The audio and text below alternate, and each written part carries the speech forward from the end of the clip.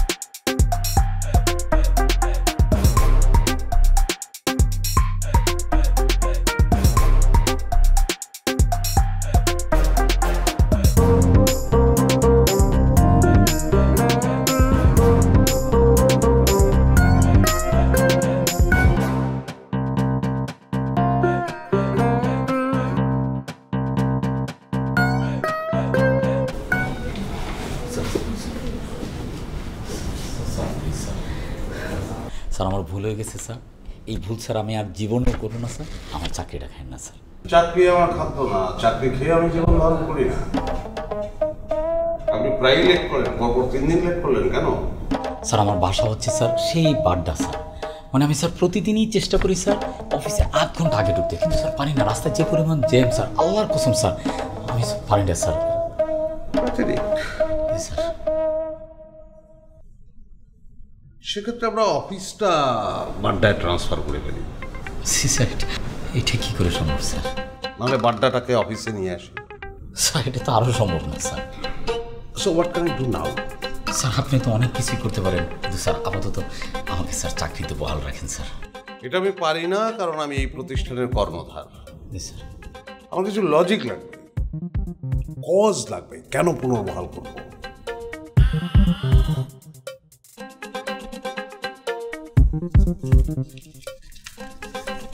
আপনি আমাকে ভালো করে চেনেন সেই ক্ষেত্রে আমি প্রত্যাশা করতে পারি যে এটা ঘুষ না।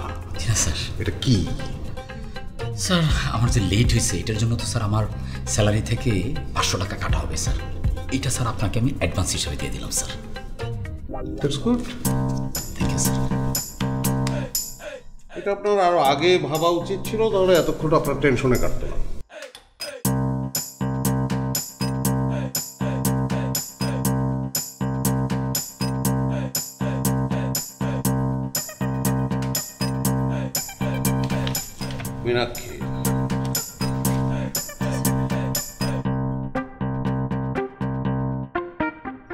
বাজারে খুব ভালো এনামাইল পেইন্ট পাওয়া যায়। হয় ঠোঁটে এনামাইল পেইন্ট ব্যবহার করবেন। আদারওয়াইজ চা খাওয়ার পরে মগ ধুয়ে রাখবেন।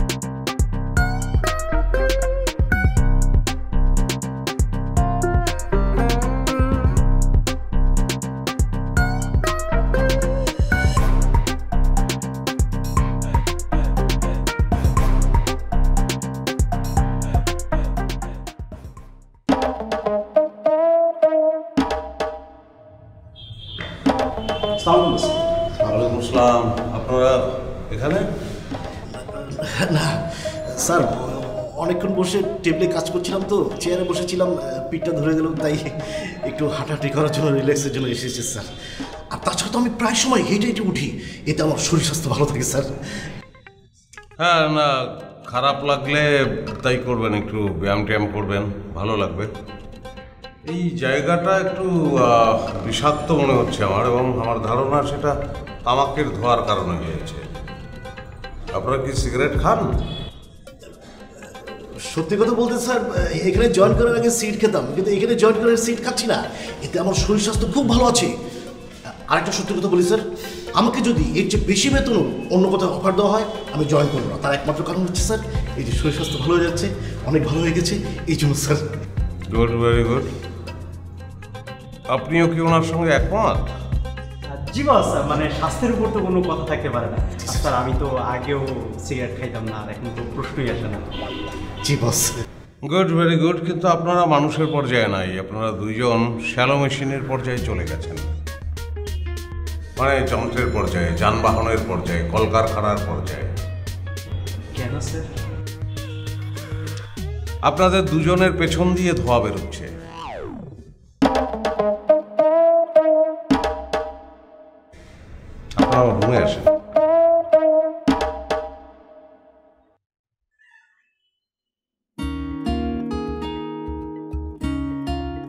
বাচ্চাটাকেও সাথে নিয়ে আসবে তাই না? হ্যাঁ হ্যাঁ কোনো সমস্যা নেই ও শিখুক। ভাইয়া আসসালামু আলাইকুম। আমি লাবণ্য আমার ডেস্কটা কোন দিকে? ওয়ালাইকুম আসসালাম। আজকে প্রথম দিন আপনার না? জি আজকে প্রথম দিন।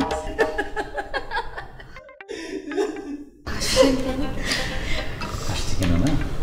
আপনি জেনে শুনে একটা জেলখানায় কেন ভর্তি হতে আসলেন? আহ, জেলখানা? বুঝলেন না? না। শুনেন আপনি যদি এই অফিসের সব নিয়মকানুন জানেন আর মানতে চান তাহলে মনে হবে যে আপনি একটা কর্পোরেট অফিস না একটা কনসেন্ট্রেশন ক্যাম্পে আসছেন। মানে? বুঝতে পারিনি মানে? না? আমরা পড়াশোনা শেষ করে আমাদের কি চিন্তা ছিল? আমরা একটা কর্পোরেট জব করব টাকা পয়সা ইনকাম করব ঘুরতে যাব হ্যাং আউট করব একদম স্বাধীন জীবন জীবনযাপন করব তাই না? কিন্তু এইখানে জয়েন করার পরে মনে হয়েছে আমরা একটা কিন্ডার গার্ডেনে ভর্তি হয়েছি। বস কি অনেক করা একদম করা না। Boss boss sorry boss boss sorry please boss আমাকে ক্ষমা করে দেন বস বস বস আমার তো এখন প্রফেশনাল পিরিয়ড শেষ হয়নি বস। আপনি যদি আমার মাফ না করতেন স্যার আমি কি করব বস? বলুন বস। আপনার তিন মাসের প্রভিশন পিরিয়ড জামশেদ সাহেব এক বছর পনেরো দিনে গিয়ে ঠেকেছে এবং আমার ধারণা এই প্রভিশন পিরিয়ড অনন্তকাল চলতে থাকবে কিন্তু সেটা আমি অনন্তকাল চলতে দিতে রাজি নই। বেটার ইউ গেট লস্ট আপনার জায়গায় একটি বেকার মেধাবী ছেলে প্রবেশ করুক সে প্রবেশ করলে তাতে দেশ লাভবান হবে। লাবণ মনে করেন আপনি সিগারেট খান। ভাই আমি তো সিগারেট খাই আরে বাবা মনে করেন আপনাকে তো খাইতে বলি নাই। এই সিগারেট খাওয়ার মতো একটা পার্সোনাল বিষয় নিয়ে আমাদের বস ইন্টারফেয়ার করবে ডিসিশন দেবে এবং পানিশমেন্ট দেবে। স্যার আমার আব্বার জন্য কিনেছিলাম উনি রেগুলার খায় তো। হ্যাঁ নিশ্চয়ই নিশ্চয়ই আপনার আব্বার। সারা জীবন তো বাবারটাই খেয়েছেন তাই না? বাবারটা খেয়ে খেয়েই তো বড় হয়েছেন। সুতরাং আপনি আজকেও বাবারটাই খাবেন। আমি আপনাকে পরিবেশনটা করছি। উনি কি শাস্তি দেন? উনি এত কঠিন শাস্তি দেয় যে আপনার অঙ্কের টিচারও এত কঠিন শাস্তি দেয়নি।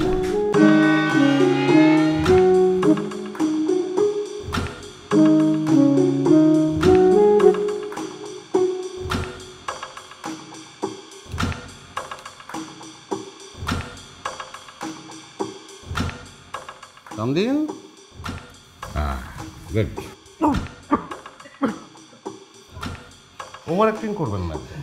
আপনি খাচ্ছেন না ও খাচ্ছে। স্যার পানি স্যার। না না আমি আপনি তো ধোয়া ভালোবাসেন। পুরো অফিসের পরিবেশটাই ধোয়াময় করেছেন। তো ধোয়া ভালোবাসেন আপনি ধোয়া খান। হুম টান দিন। উনি হচ্ছে একটা জালিম। ওনার দিলে প্রেম ভালোবাসা দয়া মায়া বলে কিচ্ছু নেই। একটা উপায় মুক্তি দিতে পারি কিশোর কুমারের ওই গানটা যদি গাইতে পারেন। কলকাতা স্যার কলকাতা তুমি কি কুয়াশা? ধোয়া ধোয়া ধোয়া পারি না শুইতে। স্যার এই গানটা তো আমি যাই না স্যার। বস আমি পারি। ঠিক আছে যাও সামনে গিয়ে দাঁড়িয়ে গাও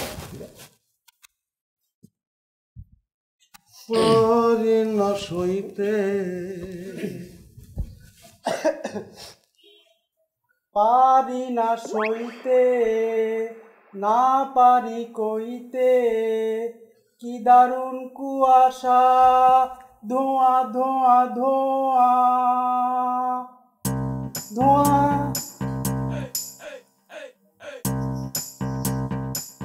জামশেদ সাহেব, আমি ব্যক্তিগতভাবে মানুষ হিসাবে নিজেকে সৎ মনে করি এবং অত্যাচারী মনে করি না। কিন্তু আমি জাস্ট এখন যে কাজটা করব সেটা আমার নিজের জন্য না এই অফিসের জন্য না এটা একদমই কিশোর কুমারের জন্য। আল্লাহ উনি তো আমাকে বলেছিলেন যে অফিসে জয়েন করার আগে যেন আমি ওনার রুমে গিয়ে একটু দেখা তাহলে দাঁড়িয়ে আছেন কেন? যান যান না, তাড়াতাড়ি যান।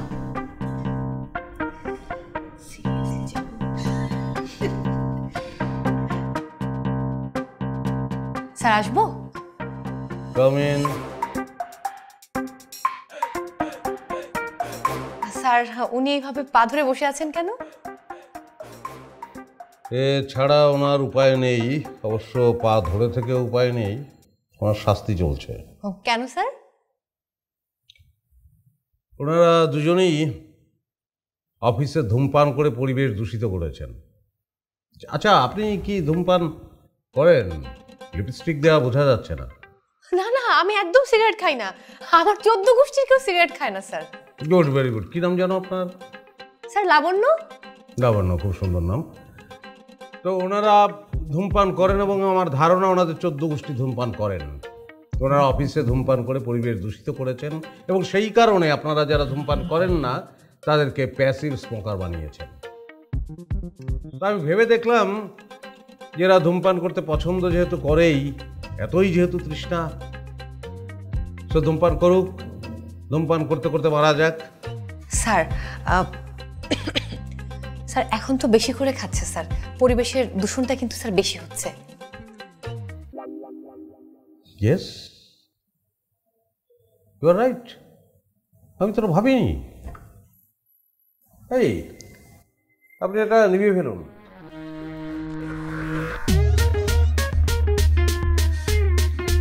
পকেটে ঢুকিয়ে রাখুন।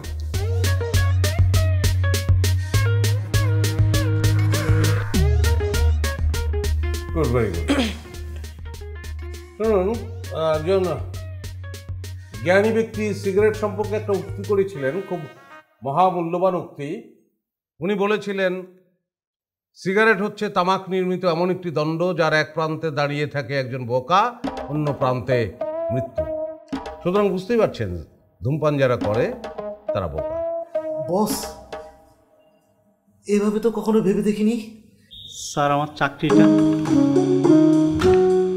আহ, আপনি তো এখানে আছেন। ঠিক আছে। আপনি পাটা ছাড়েন। তাহলে স্যার আমার চাকরিটা আছে। না আমার পা ব্যথা করছে সেই কারণে বললাম। দাঁড়ান। বস হুম? পরিবেশটা কেমন যেন গোমট হয়ে আছে। মানে কিছু পরিবেশন করা প্রয়োজন। কে পরিবেশন করবে? আপনি? হ্যাঁ আমি। সেটা কি? চা সেমাই নুডলস কি?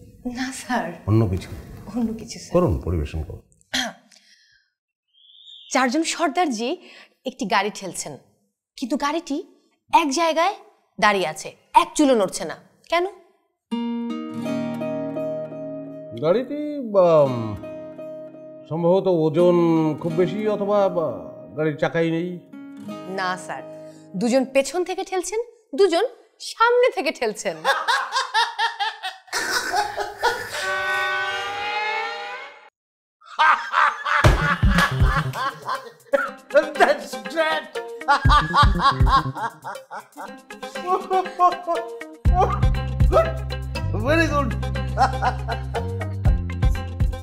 ম্যাডাম লাবণ্য ম্যাডাম এদিকে আসেন। আসেন আসেন আসেন। ম্যাডাম বাড়ি অফিসের এই জায়গাটা সবচেয়ে নিরাপদ।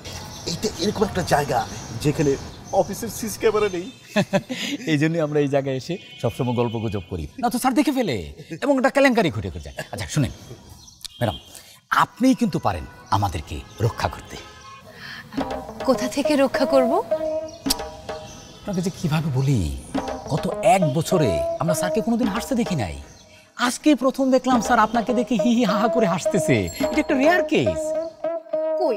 আমার সাথে তো অনেক হেসে হেসেই কথা বললেন। আরে সেটা দেখে তো অবাক হয়েছি যে স্যার এই প্রথম এক বছরে হাসলেন।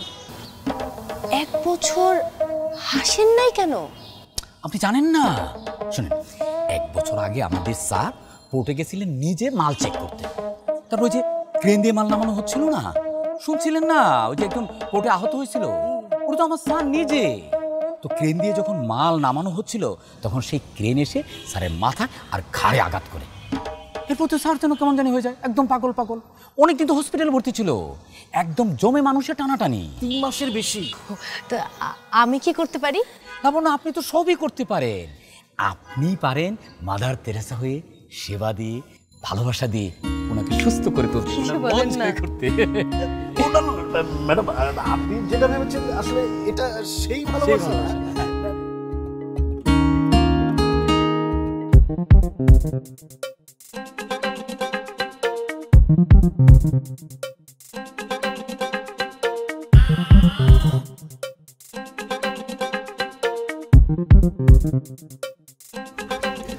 কেমন আছেন? ভালো আপনি ভালো? বসের রুম থেকে আসলেন?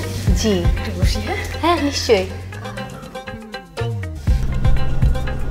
বসের যে সমস্যা আছে আপনি কি এটা জানেন? কি সমস্যা? অনেক সমস্যা। একদম ফিজিক্যালি সমস্যা আছে।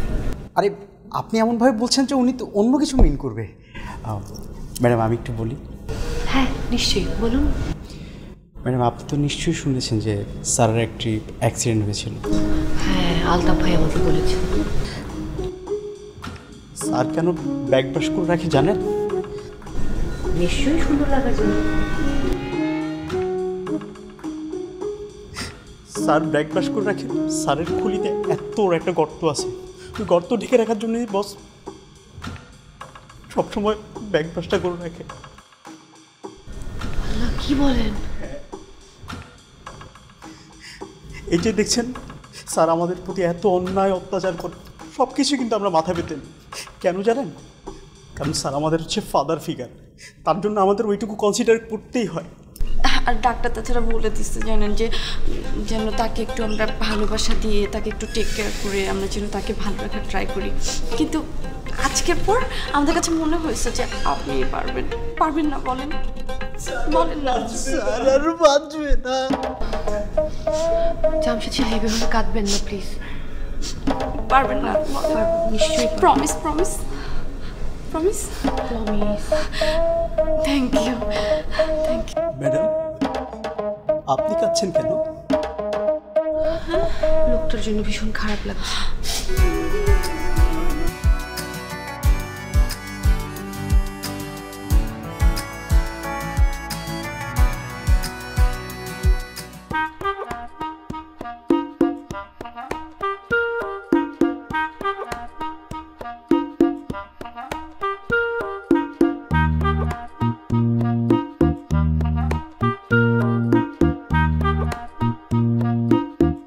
ছবি তুমি শুধু ছবি। স্যার আপনার মনের মধ্যে স্যার এত কষ্ট আপনি এত কষ্ট নিয়ে বেঁচে আছেন স্যার আমি ভাবতেই পারছি না স্যার। হোয়াট ইজ দিস আমার তো বন্ধ হয়ে যাচ্ছে। আমি আপনার সকল দুঃখ কষ্ট স্যার আমার ভালোবাসা দিয়ে একেবারে ধুয়ে মুছে শেষ করে দেবো স্যার। ডাক্তারি আপনি কি সিনেমায় অভিনয় করেন না আমার ভেতরে সব কষ্ট আপনি ধুয়ে মুছে শেষ করে দেবো। আপনি ডাস্টার? ইয়েস স্যার আমি ডাস্টার হতে পারি। আপনার সাদা বোর্ডে যত লেখা আছে স্যার আমি সব কিছু মুছে দিতে চাই স্যার। অদ্ভুত তো এটা কি ধরনের কথাবার্তা বলছেন? কি মানে আপনার সমস্যাটা কি? আপনি মুছে দিতে চাচ্ছেন কেন? স্যার আপনি রেগে গেছেন। এটাই স্বাভাবিক স্যার। মানে আমি জাস্ট বলতে চেয়েছি আপনাকে দেখে যতটা কঠিন মনে হয় আপনি আসলে তা না স্যার। আপনার ভেতরে একটা শিশু বাস করে। আমি কি প্রেগনেন্ট নাকি? আমার ভেতরে শিশু বাস করবে। হোয়াট ইজ দিস স্যার আমারও ভুল ভাবছেন স্যার। আমি আসলে সেটা বলতে চাইনি স্যার। একটা শিশুর মতো নিষ্পাপ একজন মানুষ। তাই মনে হয় আপনার? না লাবণ্য আমি নিষ্পাপ না।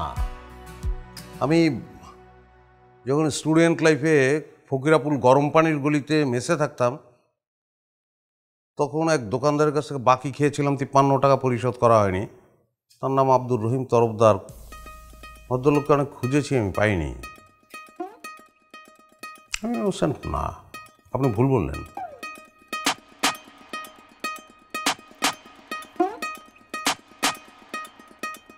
আচ্ছা আপনি যদি কিছু আমাকে ধরবে না একবার জড়িয়ে? জি স্যার জি। হ্যাঁ প্লিজ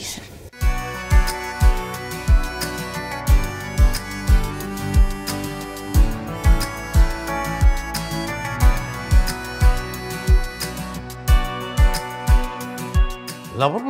লাবণ্য আমি আপনার দিকে যদি না তাকাই আপনি কিছু মনে করবেন? না স্যার।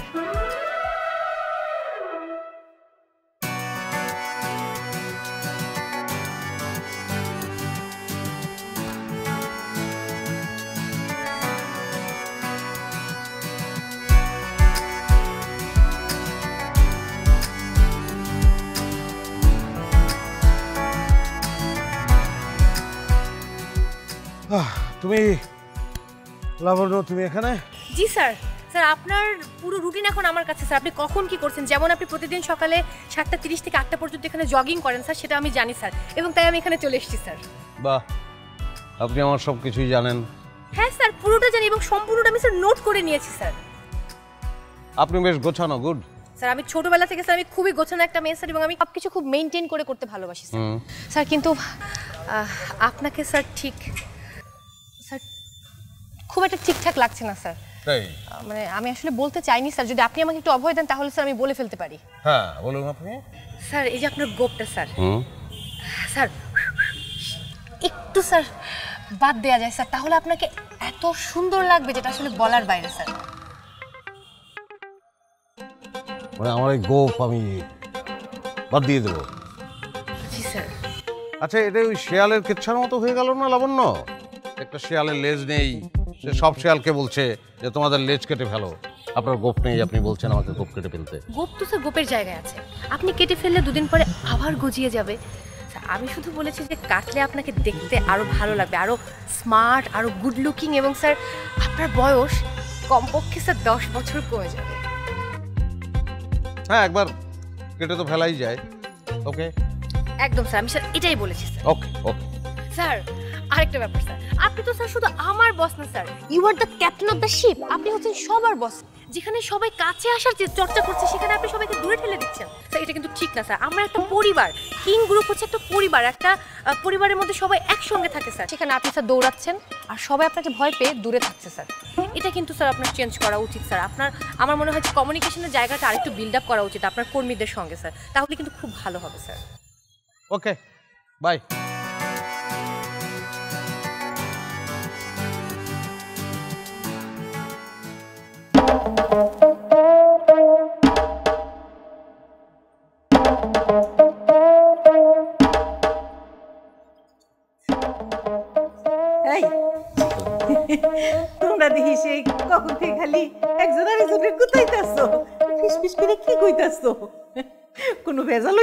সমস্যা হয়েছে অফিসে? না খালামা হয়েছে কি ওই আমাদের অফিসে একটা সুন্দরী মেয়ে আসছে। ওই মেয়েটার নাম হইতেছে লাবণ্য। লাবণ্য। লাবণ্য। তো কি হয়েছে সুন্দরী মেয়ের কোনো সমস্যা হয়েছে লাবণ্য কিন্তু স্যারকে স্বপ্ন দেখাচ্ছে। আরে এই যুগের মেয়েরা আমি যতদূর জানি। সব পোলা কতই নাকে দড়ি দিয়ে ঘুরায়। না না সবার ক্ষেত্রে ঠিক না এই মেয়েটা যদি আপনি দেখেন লাবণ্য এত সুন্দর যেই দেখবে সেই তাকে ঘরের বউ বানিয়ে ফেলবে।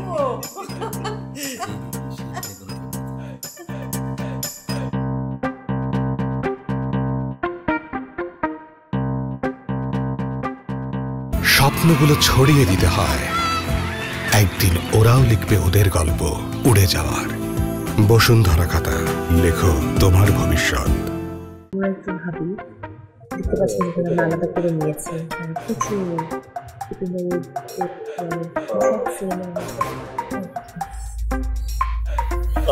ভাই কেমন আছেন? হ্যাঁ ভালো। ভালো? হ্যাঁ আমি আছি ভালো আছি।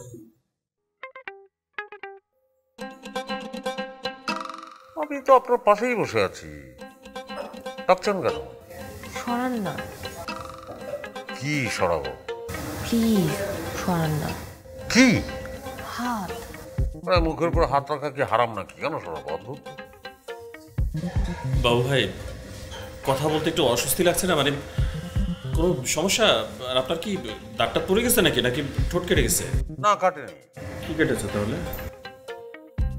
গোপ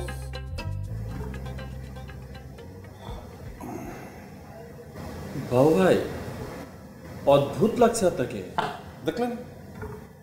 অদ্ভুত বলছে সে। আপনি কি বলেছিলেন আমাকে? না না- না বাবু ভাই অদ্ভুত বলতে আমি বলছি অদ্ভুত সুন্দর লাগছে আপনাকে। আমি তো বুঝতে পারছি না আপনি এই জিনিস এতদিন কেন মুখের মধ্যে রেখে দিয়েছিলেন? তারপর দশ বছর কমে গেছে। এক্স্যাক্টলি স্যার আমি এই কথাটাই কিন্তু আপনাকে বলেছিলাম। তাই? হ্যাঁ। আমার আমার কিন্তু মানে কোনোই কৃতিত্ব না সব লাবণ্য লাবণ্য বলেছে আমি কি খুব বিসর্জন দিলাম? তাই নাকি? হ্যাঁ।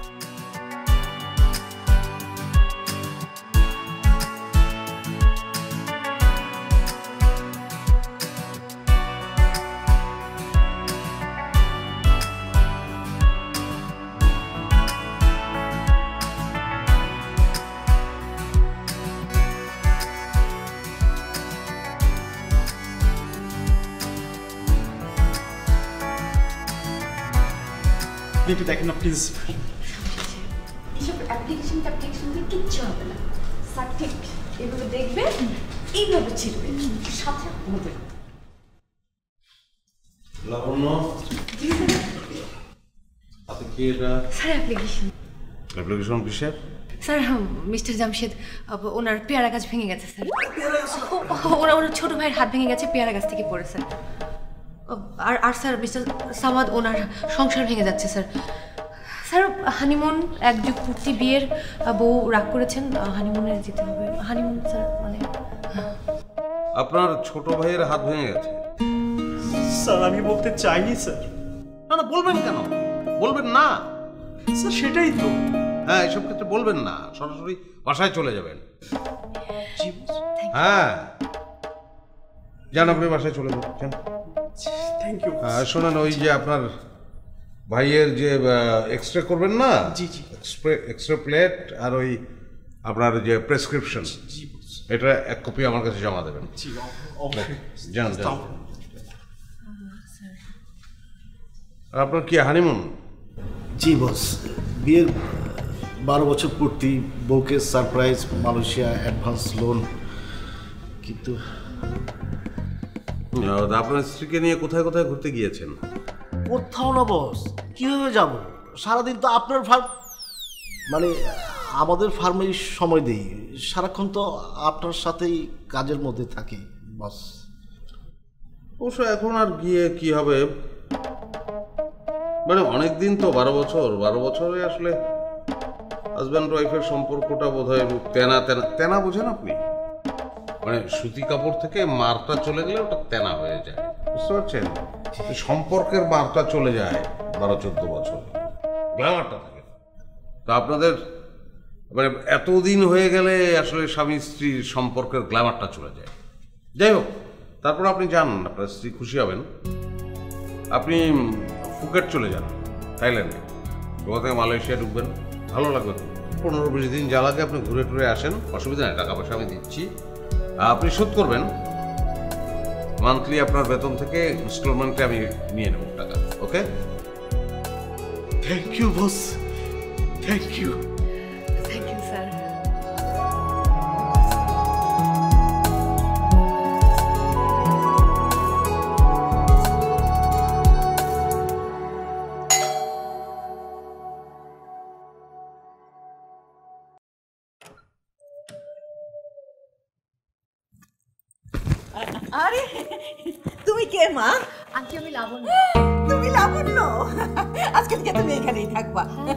আরে তোমার হাত খালি কেন হ্যাঁ হাত খালি থাকতে হয় না এই হাত খালি থাকলে অমঙ্গল হয় কি করছে না না না এটা আজকে থেকে তুমি ঠিক করতে তোমার হাতের আরে আসসালামু। আলাইকুম। লাবণ্য আসছে। লাবণ্য আপনি আমার বাসায় কেন এসেছেন? স্যার চেকে সাইন করতে হবে স্যার এই যে। তোরা গল্প কর গল্প কর। আমি একটু দেখতেছি। গল্প কর।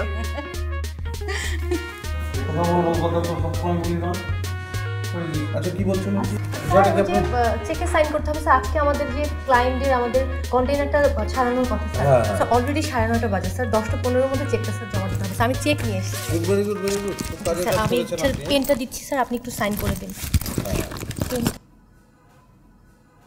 স্যার খুঁজে পাচ্ছি না। মা কথা শুনে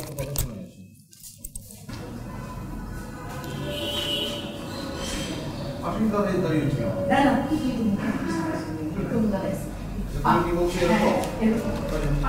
আচ্ছা লাবণ্য আপনি দাঁড়ান তো মা বললেন যে আপনার পাশে দাঁড়ানোর জন্য মা এই তো নাকি হ্যাঁ হ্যাঁ দাঁড়ানো হয়ে গেছে দেন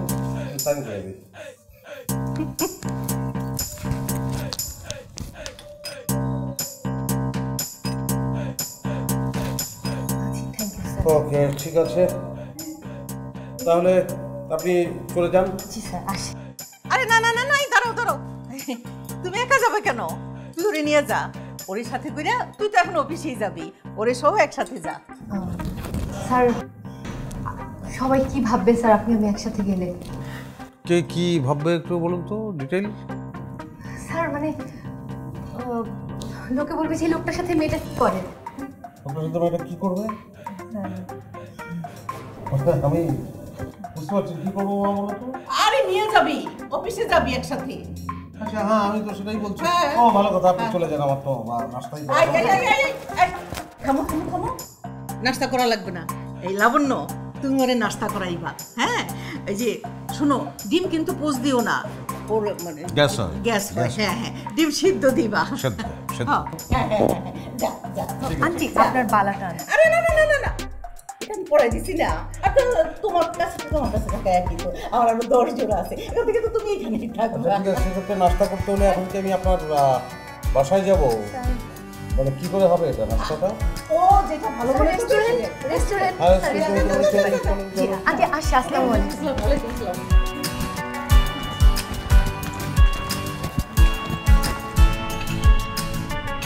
ছোট ভাই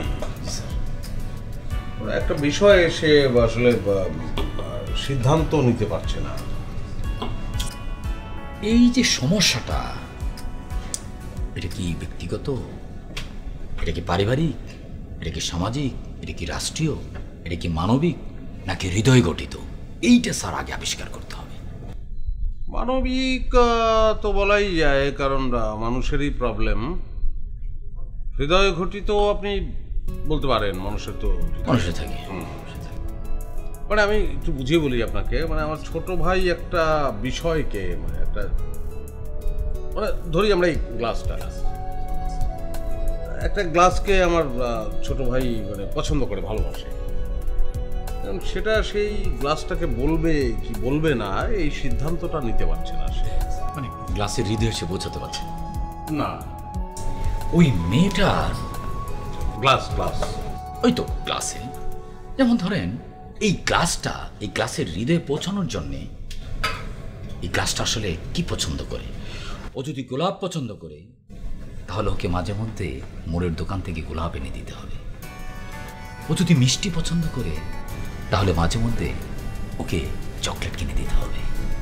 ও যদি ঘুরতে পছন্দ করে, তাহলে বিকালবেলা পার্কে, রেস্টুরেন্টে কিংবা কোনো খোলা জায়গায় নদীর পাড়ে ঘুরতে নিয়ে যেতে মানে মোট কথা হচ্ছে যে মানে গ্লাস কি চায় কি পছন্দ করে সেটা আবিষ্কার করতে হবে। আবিষ্কার করতে হবে এবং ওই পছন্দ অনুযায়ী রাস্তাগুলো ক্লিয়ার করতে হবে। তখনই ওই ক্লাসের হৃদয়ে আপনি সহজেই ঢুকে যেতে। পারবেন। ওই আপনার ছোট ভাই। ছোট ভাইকে বলব বলবেন স্যার। স্যার আপনি কিন্তু চাইলে ছোট ভাইকে আমার সাথে ট্যাগ করাই দিতে পারেন। কি চীনের প্রাচীরে কখনো হেঁটেছেন? না স্যার আমি তো চিনেই যাইনি কখনো। ও আচ্ছা জাননি? কিন্তু আমি গিয়েছি কিন্তু চীনের প্রাচীরে আমি হাঁটিনি খুব ইচ্ছা করছিল তারপর হাঁটিনি। কেন স্যার? আমার মনে হচ্ছিল যে চীনের প্রাচীরে একা হাঁটা ঠিক হবে না। কোনো একদিন একজন সঙ্গী নিয়ে আসব তার হাত ধরে আমি চীনের প্রাচীরে হাঁটব আপনি হাঁটতে পারেন তো? হ্যাঁ স্যার আমার পা একদম ঠিক আমি হাঁটতে পারব। হ্যাঁ তাহলে হাঁটতে পারলে চীনের প্রাচীরে আমরা হাত ধরে হাঁটলাম। ভালো লাগবে। স্যার আপনি আমি তাহলে চীন যাচ্ছি। আমি তাই বললাম। স্যার এখনই তো বললেন।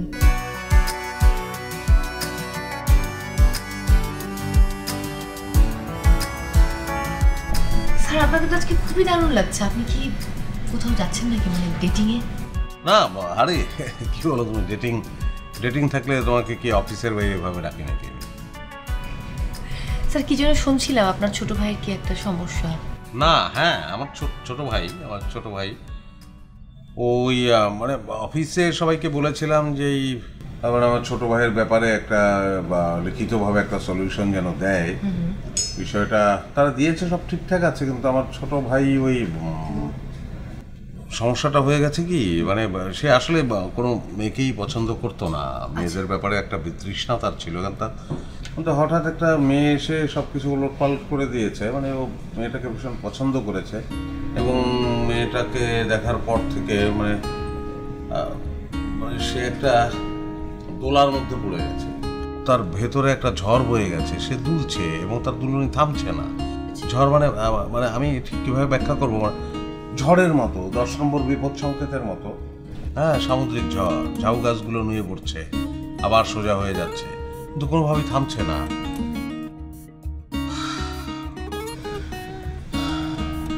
স্যার আপনার ছোট ভাইয়ের এই ভালোবাসাটা কি একতরফা? হ্যাঁ একতরফা। স্যার প্রবলেমটা এখানেই। স্যার কারণ আপনাকে তো জানতে হবে মেয়েটার অন্য কোনো সম্পর্ক আছে কি না একতরফা ভালোবেসে তো লাভ নেই স্যার তো জানাতে হবে। না না আমার আমার আমার মনে হয় যে মেয়েটার অন্য কোথাও সম্পর্ক নেই। মেয়েটার অন্য কোনো সম্পর্ক কোথাও সম্পর্ক থাকতে পারে না। মানে এই ছেলেটা জীবনে কোথাও কাউকে ভালোবাসেনি একটা মেয়েকে মানে আমার ছোট ভাইয়ের কথা বলছি ভালোবাসলো। আচ্ছা। মেয়েটার সম্পর্ক নেই। স্যার আমার অসম্ভব লেভেলের একটা খুশির সংবাদ আছে যেটা বলতেই আজকে আমি এসেছি। ও কনগ্রাচুলেশন থ্যাংক ইউ স্যার খুশির খবর না শুনেই কনগ্রাচুলেশন বললাম। যার কারণ হচ্ছে তোমার খুশির খবর আমার খুশির সংবাদ সেই কারণে। কি খাবে স্যার খাব পরে। তার আগে স্যার আপনার প্রতি অশেষ কৃতজ্ঞতা। আপনার কাছ থেকে স্যার আমি অনেক কিছু শিখেছি এবং আপনার পুরো টিম কিং গ্রুপের পুরো পরিবারটার সাথে আমি এত মিশে গেছি স্যার আপনি এবং আপনার যারা টিমমেট আছে একই সঙ্গে আপনার যারা অধীনে কাজ করে সবাই ভীষণ ভালো। আমার খুব ভালো সময় কেটেছে স্যার আপনাদের সাথে। কিন্তু স্যার আমি তো আহ, চাকরিটা আর করছি না স্যার। স্যার মানে আসলে আমি বিষয়টা আপনাকে বলছি স্যার। এটা হচ্ছে স্যার আমার বিয়ের কার্ড। স্যার আগামী সপ্তাহেই আমার বিয়ে স্যার আর আমার ফিয়ন্সি দেশের বাইরে থেকে চলে আসবে স্যার। আমি যাব বলে স্যার আমি একটা স্কলারশিপের জন্য অ্যাপ্লাই করেছিলাম সেটা হয়ে গেছে স্যার। সো এলেই আমরা বিয়ে করে স্যার চলে যাব ইংল্যান্ডে স্যার। স্যার আপনি নিশ্চয়ই খুশি হয়েছেন? হননি স্যার। হ্যাঁ। আপনাকে কিন্তু আসতেই হবে স্যার অবশ্যই যাব। স্যার আপনি কিন্তু আন্টিকে নিয়ে আসবেন স্যার হ্যাঁ। জি স্যার আমি তাই করব। আমি বা তোমার বিয়েতে যাব।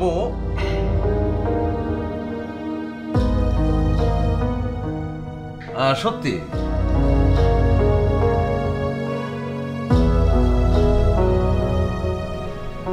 আপনাদের এখানে? ভাই আর ড্রিঙ্কস হবে? নো সরি স্যার নাই স্যার স্যার হ্যাঁ? স্যার আপনি কি হার্ড ড্রিঙ্কস খান? আমি খা- খাই না।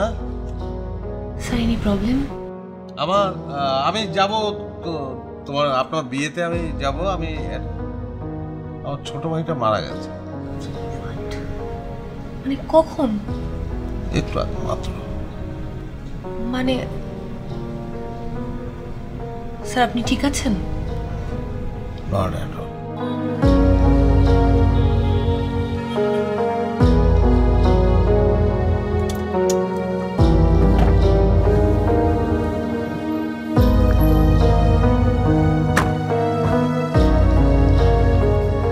বস এটা হচ্ছে আমার বাসা।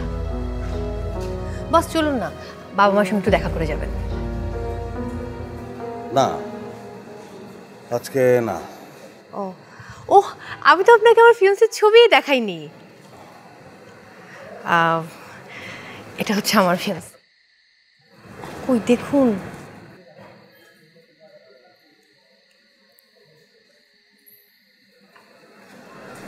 তো গোপ আছে। হ্যাঁ আই লাভ গোপ। আমি তো গোপ ভালোবাসি। আমার গোপ তুমি কেটে ফেলতে বলেছি ও সরি বস ওটা তো আলতাফ ভাই বলেছিল। কেন? মানে বস আমি আসলে কথাগুলো বলতে চাচ্ছিলাম না বস আসলে হয়েছে কি বস আপনার ওই পোর্টে বস আপনার মাথার উপরে কন্টেইনার ভেঙে পড়ল এবং তারপর থেকে আপনার মাথা নষ্ট হয়ে গেল। আপনি রাগারাগি করেন চিৎকার চেঁচামেচি এবং চটে যান সব বিষয়ে। এবং আপনাকে যে ডাক্তার বলেছে যে আপনার অনেক কেয়ারিং প্রয়োজন অনেক ভালোবাসা প্রয়োজন বস বস আমি তো আপনাকে ভীষণ রেসপেক্ট করি বস বস আমি চাচ্ছিলাম যে আপনাকে একটু কেয়ার করে একটু ভালোবাসা দিয়ে যদি আপনাকে মানে ভালো রাখা যায় বস দ্যাটস ইট বস আর কিছু না। আমি পাগল এই কথা বলল ওরা। ঠিক পাগল না মানে boss boss um sorry boss. ও এনিওয়ে বস আসি বস। বস ভালো থাকবেন। Thank you boss. বিয়েতে আসবেন কিন্তু বস।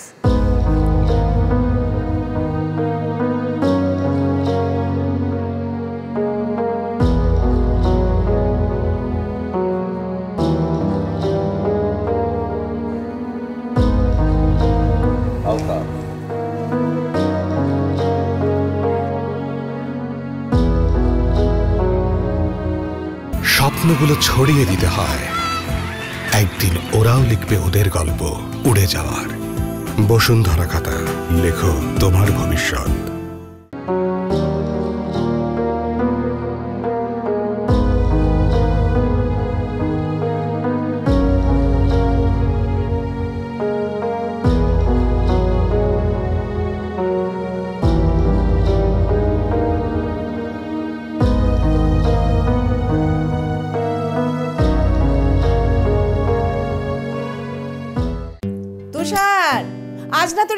ইন্টারভিউ? সরি সরি সরি ইন্টারভিউর দিনও কি একটু সকাল সকাল ঘুম থেকে ওঠা যায় না? কি করেন আপনি? অঘটন ঘটাই। জি। চাকরিতে যাদেরকে রিজেক্ট করা হয় তাদের কি মেয়েদের জামা হাতে ধরিয়ে দেওয়া হয় নাকি? থ্যাংক ইউ আমার মা আমার নাম দিয়েছে অঘটন ঘটন পটিয়সী। একটা জ্যোতিষী দেখান। জ্যোতিষী দেখালে ঠিক হয়ে যাবে? আমি আসি। Sorry uncle. আমার ফ্যামিলি থেকে একসঙ্গে দূরে থাকবা। যে বয়সে ছেলেরা চাকরি করে বিয়ে করে আর বৌমার কণ্ঠে সারাদিন বাবা বাবা ডাক শুনব। আই লাভ ইউ সুন্দরী মেয়ে দেখলে প্রেম করতে মন চায়। আমি আসলে এত confuse I also love you তুমি রাগ করে কেন যাচ্ছ? আম তো আম সরি সরি